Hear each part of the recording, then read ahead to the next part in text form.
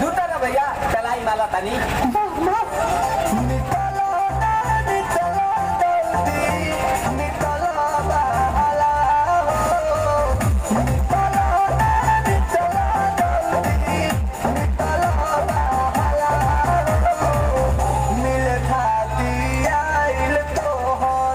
da